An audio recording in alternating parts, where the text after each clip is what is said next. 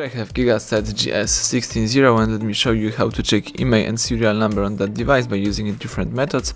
So at the very beginning let me show you how to easily get access to an IMEI number just by using the secret code. So let's use the following code asterisk hash 06 hash and as you can see the IMEI number just pops up right here.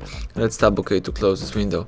Now let me show you how to check the IMEI and serial by using a settings. So let's tap apps icon. Here you have to scroll down choose settings, scroll down to the bottom of the list and select about phone. Here let's tap status and as you can see here you've got the serial number and also the Wi-Fi MAC address, IP address. What's more you can also choose IMEI information and get access to an IMEI number. So that's it. Now if you would like to check the IMEI and serial by using the back of the device, let's open the back cover. Let's use your nail finger and let's do it step by step. Just open the whole thing. Alright.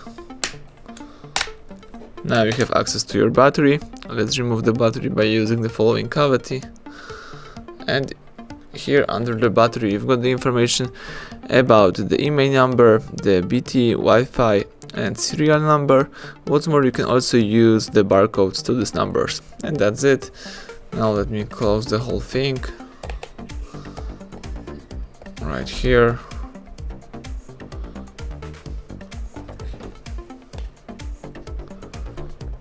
Let me close the back cover.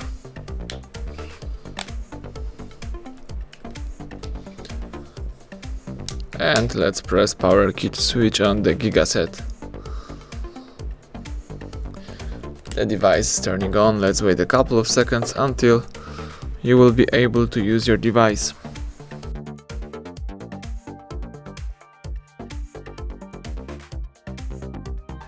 Excellent, now you can use your device, so everything went well, you just see all methods of checking IMEI and serial number on the Gigaset smartphone.